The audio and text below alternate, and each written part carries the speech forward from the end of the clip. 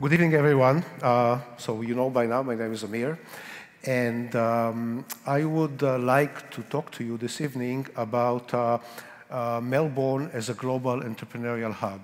And um, I think the first uh, thing that I would like to talk about is really um, about the uh, ecosystem, because Whenever we talk about entrepreneurship and innovation and we go to a specific region, uh, we always use, and rightfully so, the, the, context of an entrepreneurial ecosystem. We use ecosystem to describe how those elements are interacting together in the scope of a specific region, and Melbourne uh, is a great example uh, of a specific region, and I've had the chance and the honor to be part of making uh, Jerusalem a stronger entrepreneurial ecosystem.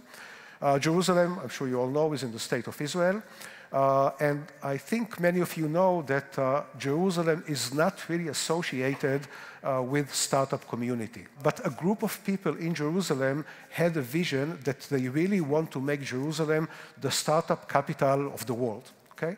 It's not yet even the startup capital of Israel, not to mention the wall, but the level of change that Jerusalem has uh, and, uh, seen in the last couple of years uh, was uh, really outstanding. My role was actually uh, in the MassChallenge role as the co-founder of MassChallenge Israel.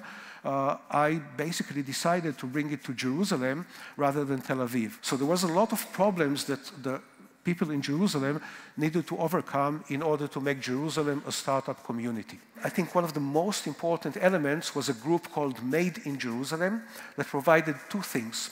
One is a group of 50 people that came from different organizations with different agenda, but they were all united uh, along a common vision to make Jerusalem the startup community.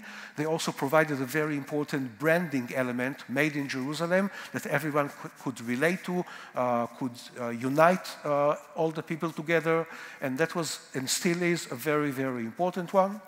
Uh, another part is bringing global elements. So MassChallenge Israel, uh, again, that was my role in the system. We brought it to Jerusalem with major support from the public sector, especially the city of Jerusalem and uh, the government, the Ministry of Economy and others.